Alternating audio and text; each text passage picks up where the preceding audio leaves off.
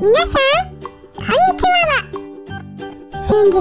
犬は飼い主から長時間離れていた後に再会すると涙の量が増えることが分かったというニュースが報道されました。ニュースによると麻布大学の研究グループが犬が飼い主と再会した時の涙の量の変化を調査しました。その結果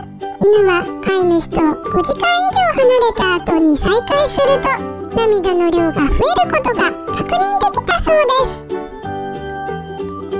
飼い主以外の他の人と再会した時には涙の量は増えず大好きな飼い主との再会時には涙の増加が認められたとのことです。これまでに犬は目の保護やで涙を流すことは確認されていましたが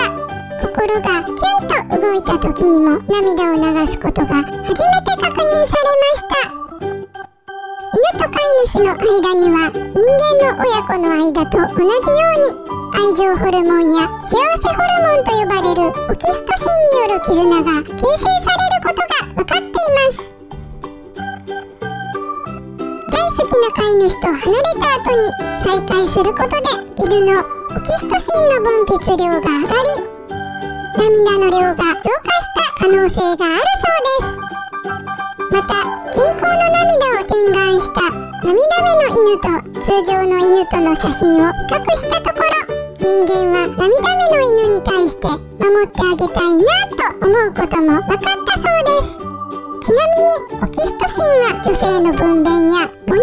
乳分泌などに働きかけるホルモンとして知られてきましたが近年は男性にも分泌されることが分かっています。オキシトシンはストレスを軽減し幸福感を増し良好な人間関係を築くために重要な役割を果たすと言われています。2015年にも犬と飼い主が見つめ合うことでオキシトシンの分泌が増えるという研究結果を発表しています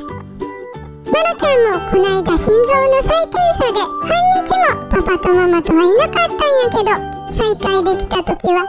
涙ちょっと出れたのやみんな知ってると思うけどワンちゃんにもちゃんと心があるんやで。ワンちゃんにも心があるということを分かった上で飼育する時の大切な心構えを犬の実態という動画で説明しているからよかったらそれも見てね。